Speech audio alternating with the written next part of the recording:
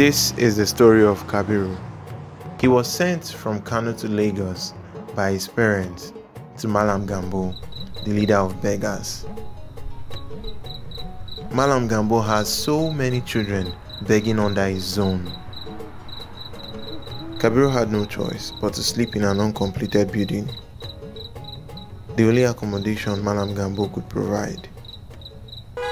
Day by day, Kabiru grew into the business of begging on the streets of Lagos.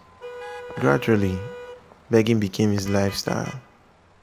Just like every other business on the streets of Lagos, you have a good day and you have a bad day.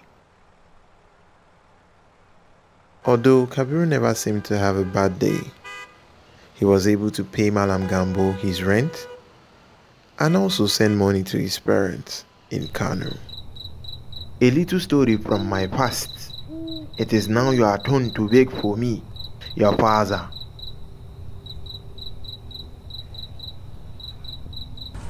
I want a better life.